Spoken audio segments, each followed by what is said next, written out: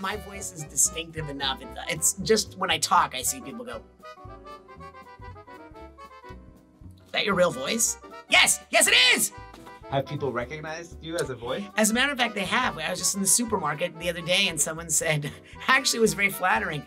They, this man and this woman were there, and, and the woman says, "You're a voice actor, aren't you?" And I'm like, "Yeah, I am. That's really impressive. I wasn't even talking." And she goes, "No, I recognized you." So that's always nice. Um, when I was at Universal Studios one time, someone definitely said, "Are you the voice of Invader Zim?" It's like, hey,